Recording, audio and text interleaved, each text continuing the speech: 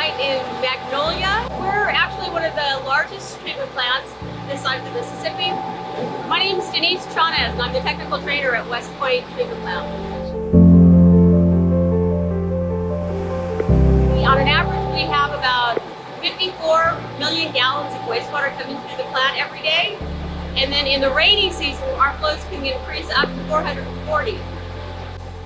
I think it will be useful for emergency situations because we're going to pre-practice it. We don't have to have the pressure of actually going through an emergency and responding to it when we can have a training session and having folks use this uh, the HoloLens when you're not in an emergency situation where you have to just think right on your feet. So I think this will be a helpful tool in that.